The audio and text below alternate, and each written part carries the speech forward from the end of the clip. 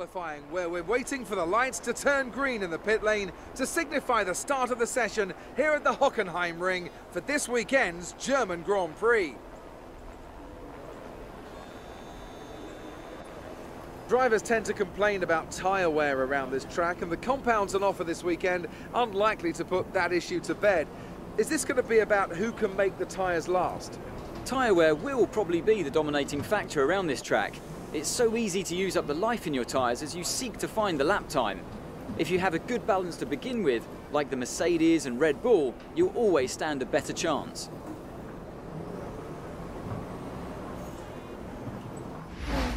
So here we are guys, ready for the qualifying session of the German Grand Prix. Uh, today's video didn't show you the practice session because uh, simply enough I didn't record it. I forgot to record that part of the video, but um, I'm gonna say everything was perfect and uh, we did we were perfect in every single test. But now we're straight off to qualifying. Um, we're gonna go off some laps. I'm gonna show you only my fastest lap of this session. So um, what are we waiting for? Let us go out on the track and uh, start our fastest lap. The car said in P4.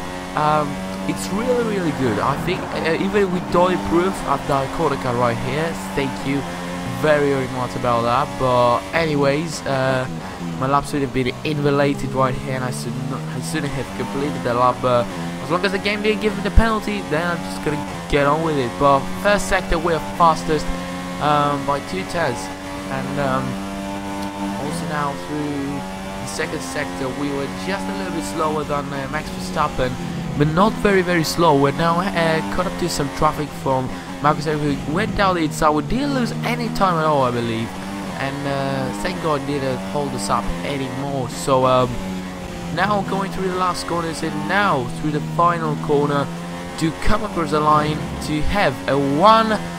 14, 15 it was, 115 and I believe we got pole position just for some thousands of a second. Let's take, let's get, let's get the like, oh my god, I can't even speak. That was very, very close. 15 thousandth of a second ahead of Max Verstappen.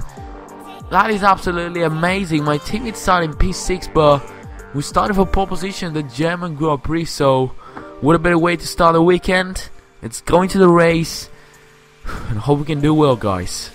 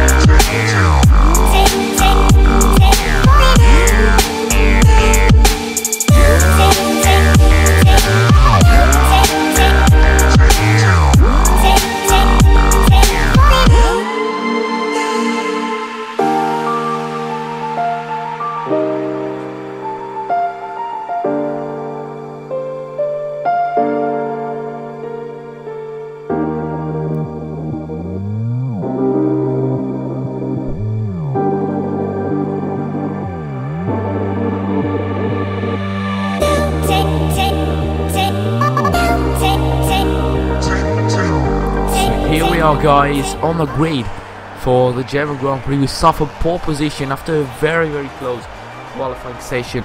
I got to admit it was a very very close qualifying session to get that pole position and I'm very very happy to have set such a lap. Of course if I would have done the corner guy I think we would have been on pole position but um, you know um, if Verstappen is really is really faster than me on raw pace here on the race pace I mean um, we'll see what he can do we'll see if he can beat us but um, I don't think so I think we can beat him but uh, dry condition it's going to be for the whole race for the entirety of this race and um, it's a bit of a straight out. We're gonna do three pit stops, so probably Tower is really bad on this track, but gonna see about that. But I'm gonna wait and hold some expectations for the tower. I think I'm gonna get away with one less pit stop. Imagine like safety car comes out or something like we just um,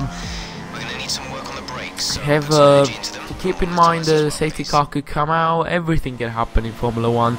But now, it's time for the start. We mustn't lose the, the lead into turn 1. And it's lights out and away we go for the German Grand Prix. Once again, Verstappen gets off to a terrible start. Ricciardo, Daniel Ricciardo, his teammate, gets him past into turn 1. He's up into P2. Daniel Ricciardo has overtaken Verstappen for P2. Verstappen once again uh, didn't get off to the perfect start. He didn't get off to an ideal start for himself. He lost the position and now he's got a lot of job to do because he has to overtake his teammates and uh, hold me humble yeah. Um, it's going to be a pretty hard overtake for Verstappen. Uh, Ricciardo is a very very good driver and I don't think he's gonna let very easily Verstappen through. Well I think there's a pileup right here.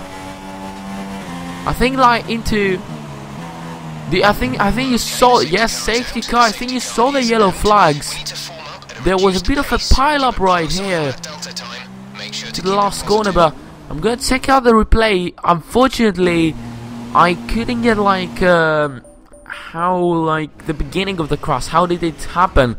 But you can see huge pile-up. There is literally everybody. There is the Saubers. There are.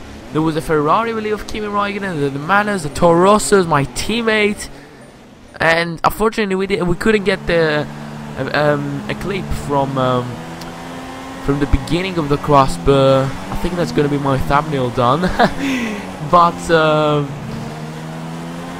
we we are off to racing again. Track is clear, as you can see, as Jeff told us, um, and the safety car is back into the pits. We are back into racing, and as you can see now, lap six time from first pit stop. I'm gonna enter, I think, for a set of mediums. I think we're gonna enter for a set of mediums right here.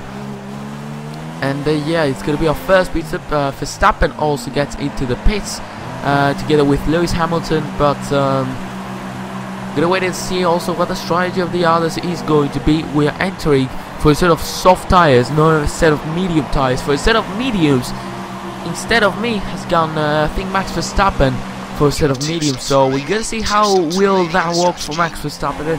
But um, yeah, we're just gonna wait and see how will that work for Max. Um, my strategy said mediums, but I went on for a set of softs just to push a little bit more, and then I think we could uh, go into a set of mediums. So we could even make it on on uh, two sets of softs. We'll see what we can do about that. But Dan Ricciardo has overtaken us. He's now overtaking the slower cars, and we're now going around the outside of Kvyat because we we are in a bit of a rush. And around the outside of Rio Haryanto, possibly we lose the back end but we make it stick around the outside of Rio Haryanto. Wonderful move, I believe, right here. Uh, but um, yeah, now we caught up uh, at the back out of Tyree Ricciardo. I've lost my words there with that battle, with that move. It was absolutely insane. Darren Ricciardo gets slowed up by Jenson Button. We couldn't uh, make a double move right here. Uh, but uh, I think it's good enough to get Jenson Button and be straight off behind Dan Ricciardo. We're gonna have the DRS probably in the next lap, or actually this lap. This lap is going to be the lap of the DRS, and uh, we're gonna, with the help of the slipstreaming and with the help of the DRS, we're gonna try and go around the outside of Dan Ricciardo. We make the mistake. He still's on the, he still is on the inside line. Is he gonna hold it up?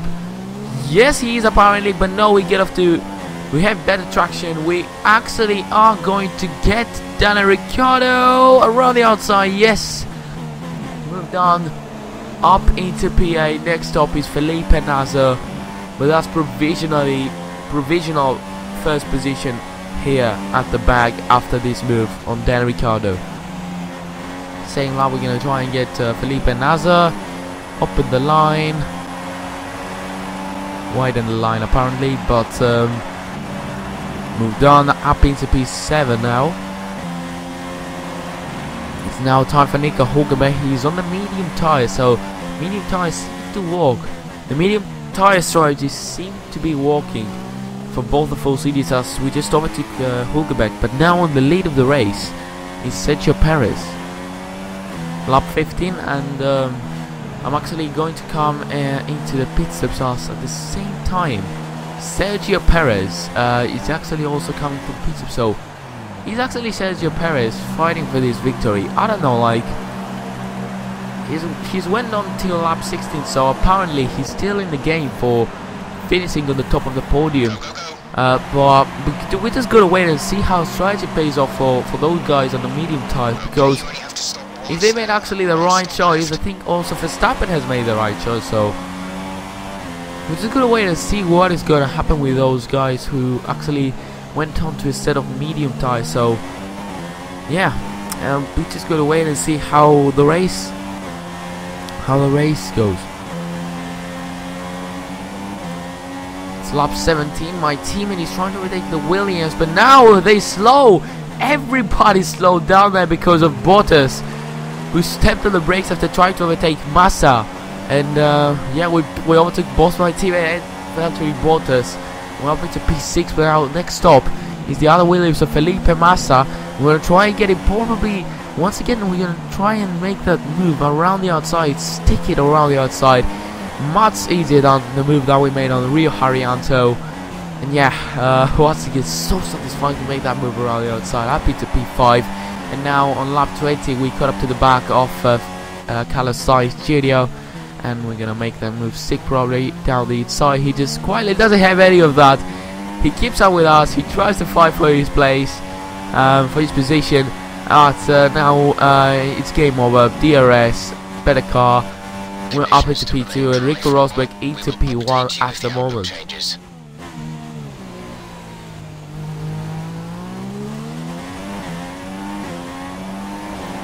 Lap 23 guys, we're entering the pit stops for a set of soft tires. This is going to be probably our last pit stop on this race. Uh, we're going to make 11 laps on a seft, on a seft, on a seft.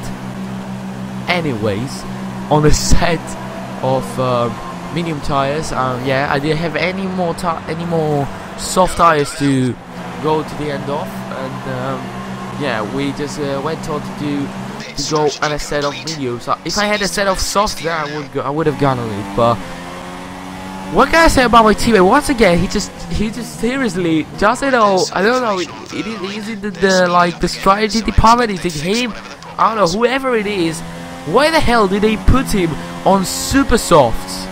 Super softs are gonna are gonna rub off uh, like six laps.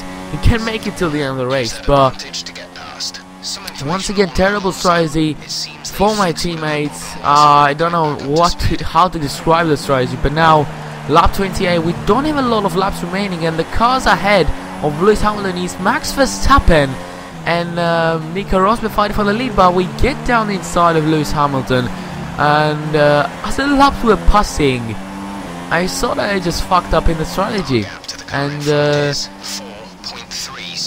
I just fucked up in the strategy by like um, it was lap 31. Max Verstappen has overtaken Nico Rosberg, as we also have done, but um, there was a gap for me and Max uh, at around uh, like um, 3.2 seconds, and I only had three laps remaining.